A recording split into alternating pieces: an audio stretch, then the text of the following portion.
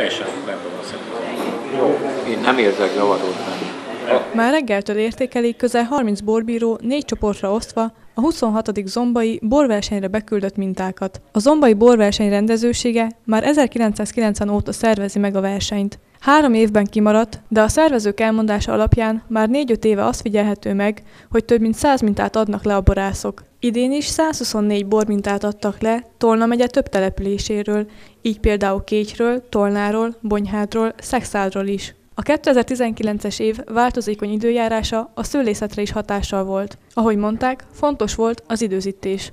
Szőlészet szempontjából az elején egy nagyon kemény peronoszpora járványban volt részünk, tehát ez ilyen május-júniusban.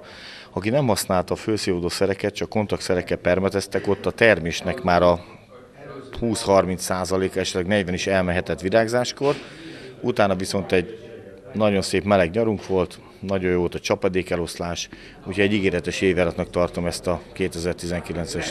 A zsűritagok kizárólag borászok, 80%-uk borbíráló is, akik rendszeresen járnak értékelni. Ilyen a bölcskei Tomolik János is, aki a 90-es évek elején kezdett borászkodni több hektáron. Ez alkalommal a rozéborokat bírálta. És itt Zombán is azt tapasztaljuk a borversenyen, hogy nagyon szép alapanyagot állítottak elő a gazdák, még van olyan lehetőség, hogy a technológiát segítségül hívják, hogy jobb minőségű rozékat tudjanak előállítani, de ezek az éveken át hagyományoknak örvendő borversenyek mind azt eredményezik, hogy évről évre jobb minőségű rozékat kóstolunk. A leggyakrabban előforduló hibákat is kiemelték az értékelés során a borbírálók. Kulturális műsor és vacsora zárta a napot.